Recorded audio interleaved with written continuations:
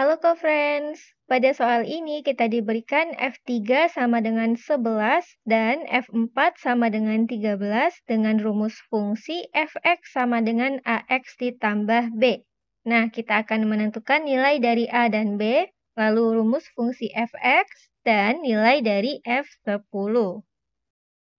Untuk menyelesaikan soal ini, kita mulai dari yang poin A. Di sini kita manfaatkan F3 sama dengan 11, serta F4 sama dengan 13.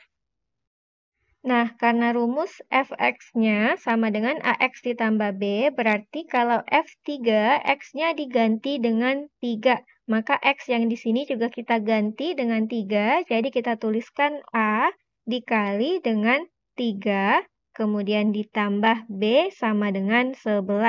Bisa kita tuliskan 3A ditambah B sama dengan 11. Kita misalkan ini dengan persamaan yang pertama. Selanjutnya, kita lihat dari F4-nya yang sama dengan 13. Berarti di sini untuk rumus fungsi fx-nya, kalau f4 berarti x-nya kita ganti dengan 4. Nah, bisa kita tuliskan 4A ditambah B ini sama dengan 13. Yang mana kita misalkan ini dengan persamaan yang kedua.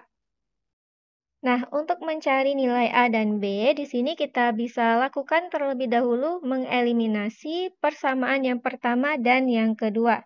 Nah, pada persamaan yang pertama dan kedua, di sini sama-sama punya B dengan bentuk yang sama, berarti bisa kita eliminasi atau kita hilangkan B-nya dengan cara kita lakukan operasi pengurangan.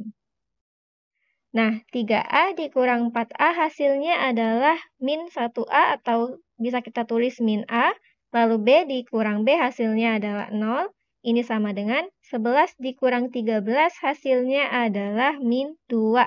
Yang mana untuk kedua ruas sama-sama kita kalikan dengan min 1, maka kita akan peroleh min dikali min hasilnya bertanda positif. Jadi, A sama dengan 2.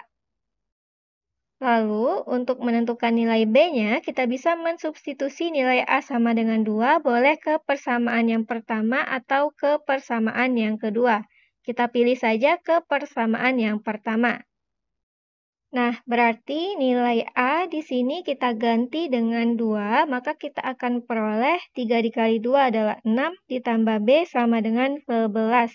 Yang mana untuk 6 dari ruas kiri kita pindahkan ke ruas kanan, jadi kita akan peroleh B sama dengan 11 dikurang 6.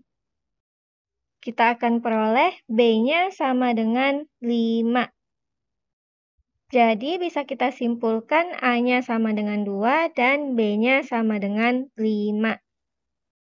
Sekarang kita akan menentukan rumus fungsi fx-nya. Nah, karena fx ini sama dengan ax ditambah b dan kita sudah ketahui nilai a dan b-nya, maka tinggal kita ganti saja a-nya di sini dengan 2, berarti 2x ditambah b-nya kita ganti dengan 5. Sehingga untuk menjawab yang C, kita akan menentukan nilai dari F10, berarti nilai X-nya pada rumus fungsi Fx kita ganti dengan 10. Berarti di sini 2 dikali dengan 10 ditambah dengan 5, yaitu sama dengan 20 ditambah 5, jadi sama dengan 25. Demikian untuk soal ini dan sampai jumpa di soal berikutnya.